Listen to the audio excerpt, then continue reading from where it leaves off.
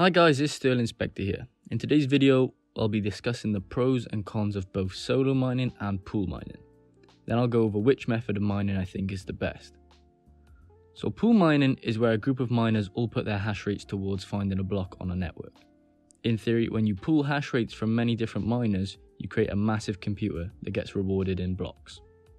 Once these blocks are found on the network, the profit is split between the different miners depending on the amount of work they put towards the block. For example, say a person puts 5% of their hash rate to mine a block, they'll receive 5% of the block reward. However, solo mining is different. This is where you mine in your own hopes that you'll find a block on the network. If you find a block, then you get to keep 100% of the rewards from the block. Now, finding a block solo mining will depend on how much luck you have, but we'll go in depth on that a little later. Firstly, I want to go over the pros and cons of pool mining. So, pool mining's biggest advantage is that you get a constant stream of income. No matter how much blocks have been found, you always get a slice of the pie when a block is found. As mining pools have a lot of hash rate, they are pretty much guaranteed to find blocks on the network. Therefore, income is guaranteed. Now, this income amount depends on how much work you personally put into the block, but also depends on the network difficulty. If the network difficulty becomes higher, then you get less profit from the amount of work you put in.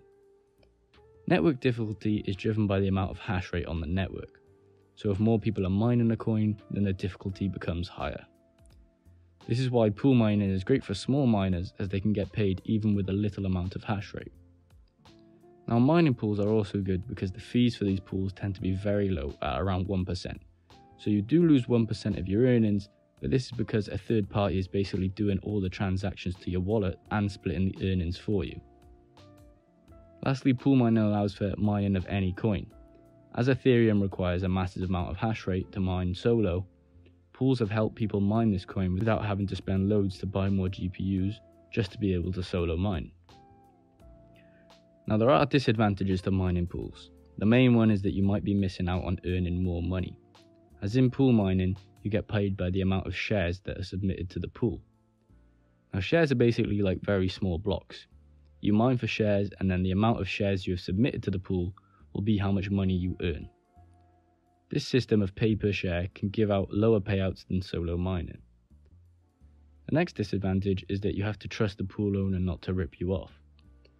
2Miners caught some backlash for this a while ago when they were collecting the MEV from the Ethereum blocks and not paying it out to the miners which meant that many people lost a large amount of money depending on how long they had been mining. Most mining pools nowadays are very transparent with their users, so this tends not to happen so often. I'm going to move on to the main advantages and disadvantages of solo mining.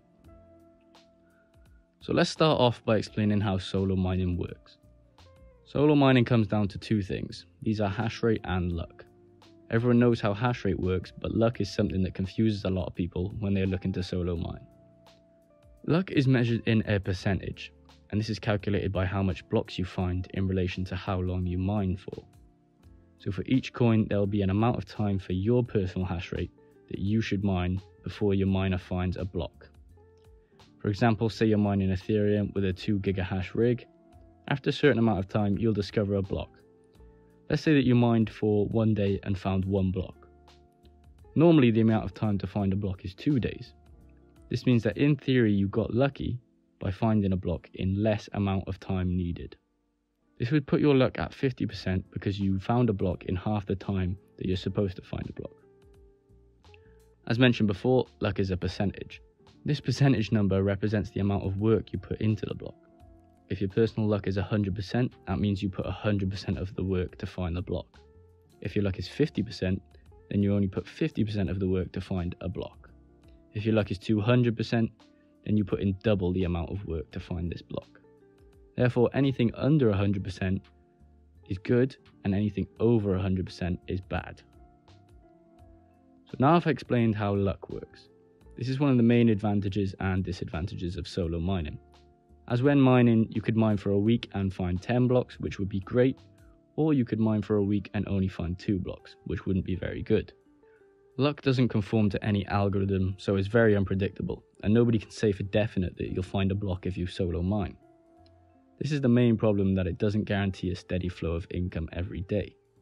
However, the main reason for solo mining is that you keep all the rewards from the block you mine. This means you don't have to pay any fees such as the ones that come along when pool mining. One other thing that determines solo block mining is your ping to the server. If you have a lower ping to the server, the blockchain tends to give out blocks to you more often. From my own personal experience, solo mining does bring in slightly more profit than pool mining, but this is my experience when using a large amount of hashing power. So here lies the problem, that to solo mine you need a large amount of hashing power, otherwise it takes ages to find a block on the network. When I started mining, I'd choose whether to solo mine based on how much blocks I could roughly find in a week. To estimate how many blocks you could find, I used a website called 2cryptocalc.com, just to give me a general figure of how many blocks I could find within the week. If we head over to that website and click on any of these coins, it will take us to the coins page. At the top, you can enter the amount of hash rate that you have currently. Then, if you scroll down to the bottom of the page, it'll tell you how much blocks you're likely to find. As you can see, it says here we can find three blocks in a week, which in my opinion is fine. As a rule of thumb, if you can mine a block every week, then I would say you should go for solo mining instead of pool mining. So this is one of the disadvantages of solo mining. You have to buy a lot of GPUs to have a large hashing power. In the case of Ethereum, it takes around 15,000 mega hash to find a block every week. That's a lot of hashing power and will cost around 100k to buy in this market. So that's the disadvantages of both pool mining and solo mining. I'm going to show you my personal earnings from solo mining and pool mining and compare them for you. So let's head over to my spreadsheet where I've recorded the payments for a month of solo mining and a month of pool mining. So I had two miners set up, both consisting of the same graphics cards. They both had around 300 sols of hashing power each. It wasn't exactly 300 sols, but it was close enough the same as each other. Sols per second is just the same as hash rate, but it's called different things on different algorithms. I had these mining back in December, so the figures and difficulty might be different to the network now. As you can see, in a 30 day period, we found 6 blocks solo mining, which gave us a net income of $735. Now, if we look at the pool mining, we can see that we had payments of around 6 to 7 flux every day, and we ended up with a net income of $650. Once I did this experiment, I realized I was losing out on a lot of money by pool mining. It would make sense to me that I should switch to solo mining because I have a large amount of hash rate. So to conclude this video, my advice would be, if you're a smaller miner with a little amount of hash rate, then just stick to pool mining. But if you have a considerable if you have a considerable amount of hash rate, then I'd definitely look into solo mining, as it can increase profits over a certain amount of time. I hope this video has helped you guys decide whether to solo mine or pool mine. If it has helped, please leave a like on the video if you have any questions, leave them in the comments and subscribe for more content like this.